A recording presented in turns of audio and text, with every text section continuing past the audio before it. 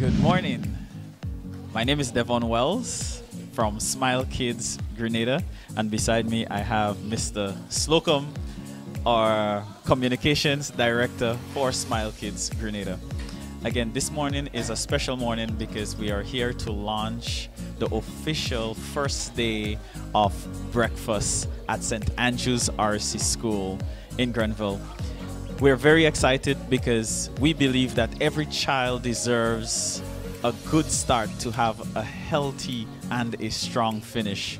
Um, it is a pilot program for the next month, and we are very, very excited to see what would basically come from um, this program.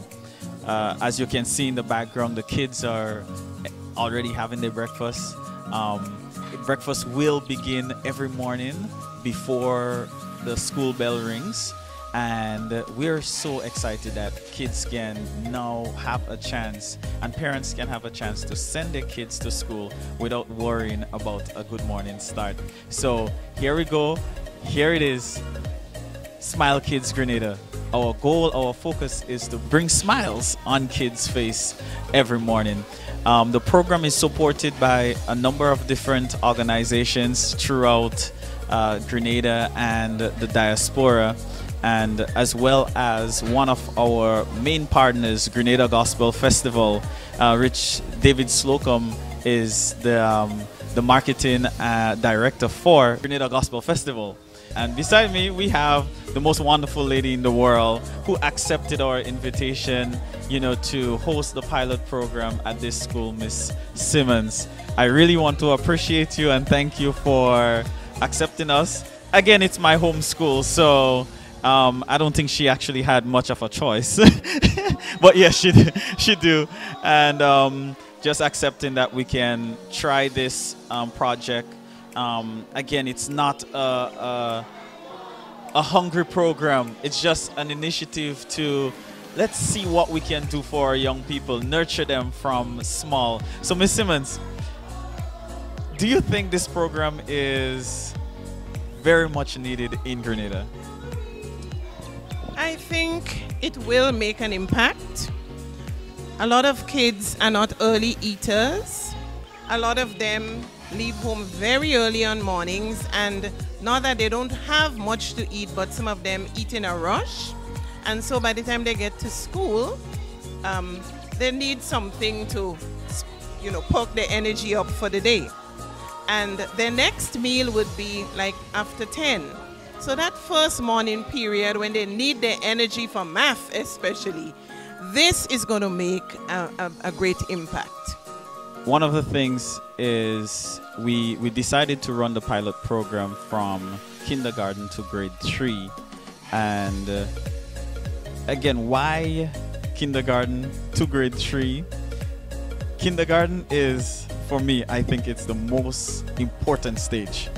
And moving upwards as we nurture them from young, then by the time they're ready for CPA, right, um, they will be much ready and as well for extra activities in the school they can participate. So, again, just your closing remarks on this program, why, how, and uh, do you think we can really continue it and if we should continue? Okay, just to take up a little on what you said about why grade K to 3. This is the foundation. You build foundation from grades from K to 3.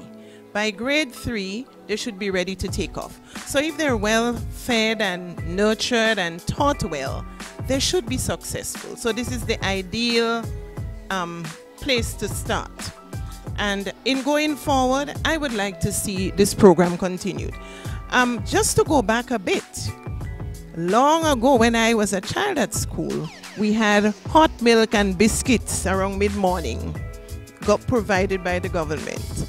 And when we, you know, when these programs are in school, you can see the difference in the children's performance, in their growth and development. You see a difference.